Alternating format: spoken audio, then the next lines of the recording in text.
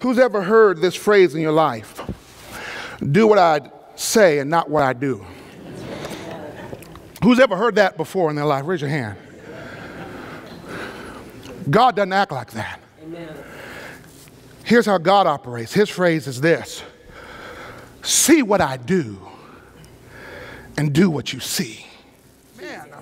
That means when God built the holy church that you are in now, not the building, but the soul wrenching change that you experience, He doesn't want you just to keep it to yourself. He wants you to help the kingdom grow. Your takeaway from me today is this I'm not done, I'm just getting started. Write that down, please. I'm not done. I'm just getting started. You know, you, you want to know why I don't like football? It's because, I don't know about you, but I wasn't designed to just watch. Come on, somebody. You know, I get excited. When I watch a football game, I end up breaking windows by screaming. You know what I mean? My wife walks in with bean dip. I tackle her. You know what I'm saying? Because I'm so excited. I'm not meant to just watch the game. I got to be in the game. And God's designed all of us not just to watch God grow trees, but that you would grow people yourself.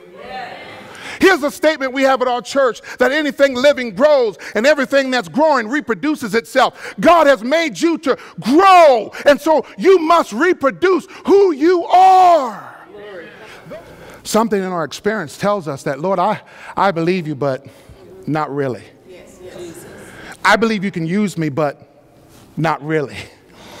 I believe you called me, but not for anything big. But may I just challenge the way you think for a second? On, How do you know it's not big? Jesus. How do you know that you're not designed in this very minute, in this very hour, in this very church to just rock the city and the county that you live in? How do you know God doesn't want to use you in a big way? Come on, come on now. You can't base your experience with God on your past experience. You got to base it on the very fact that He will never change. He's the same yesterday, today, and forevermore. And if He wants you to launch out into the deep, you better get in your boat and get out of here.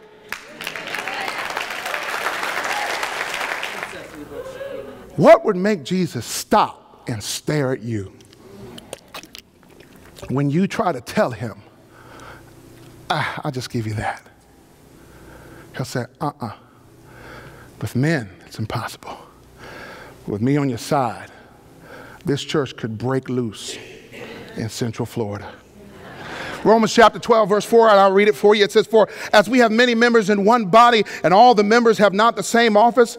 Verse 5, so we being many are one body in Christ, and every one members of one another. Every one of us belong to one another. We need what you have. Number two, it can't just be one of us, it must be all of us. And, and, and we read in, in Luke chapter 5, verse 7, look what happened. It wasn't just Peter. Look what happened, verse 7. And they beckoned unto their partners, which were in the other ship, that they should come and what? and they came and filled both ships so that they began to sink. Ladies and gentlemen, you can't take this load God has for this church by yourself. You need people, everybody needs to be out there with their boats. Ah!